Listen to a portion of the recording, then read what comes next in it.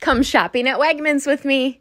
I am making pizza melts for dinner and I wanted to get some good bakery bread for those. I got a loaf of rosemary, a loaf of Italian, a loaf of cheese bread, and a loaf of plain. Next, I needed a cookie cake for dessert tonight because we are celebrating that one year ago today, Deshawn and Nevaeh moved in. I decided to get an orchid plant for Nevaeh before heading over to get some clams. I also grabbed some shrimp and crab legs and whenever we have seafood, I always want lemons to go with it. We needed a loaf of sandwich bread, and then I found this Buffalo Bills shirt for Deshawn before heading to checkout. That's it for today. See you next time.